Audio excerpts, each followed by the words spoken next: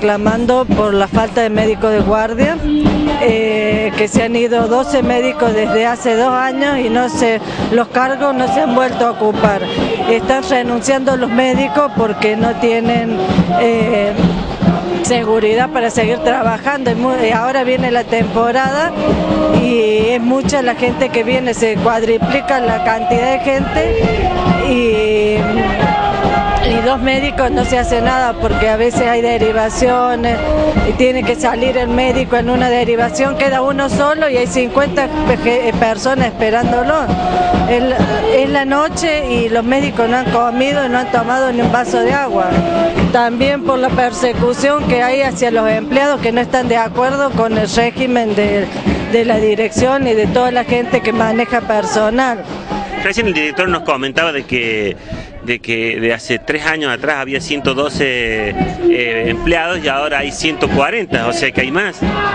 Eh, desde que empezamos en el hospital éramos 116 personas.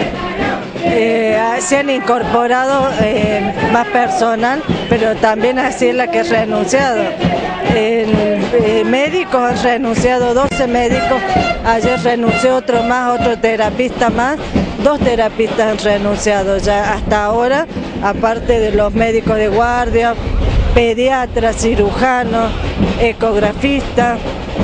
¿A qué se debe la, renuncia? Y eh, la falta de predisposición que hay para manejar el personal, porque acá se maneja de una forma autoritaria, sin respeto al, empleado, al compañero.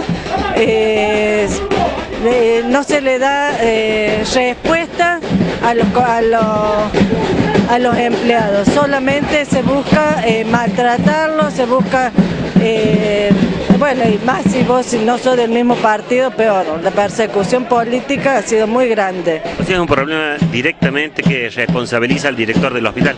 Exactamente, y es su gente, porque de depende la gente que maneja el personal. Y bueno, muchos, eh, muchos lo hacen bien y otros lo hacen bastante, que dejan mucho que desear. Y, se, manejan arbitrariamente, autoritariamente.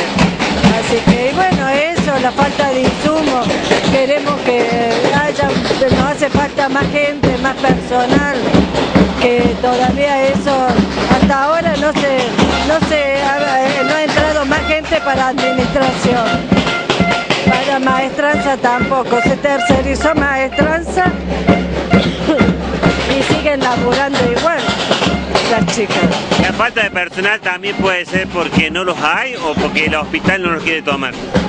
No, porque los, eh, no sabría decirle si no se gestiona para, para tener más gente o porque pero la gente viene con poca ganas de laborar, la gente ya no tiene ganas de trabajar, de venir eh, porque no se motiva, porque acá eh, es solamente presionar a la gente, presionar al empleado.